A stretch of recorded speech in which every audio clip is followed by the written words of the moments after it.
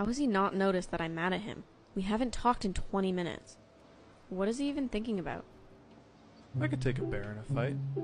Not like a grizzly bear, but like a black bear. Jump on his back, put in a headlock.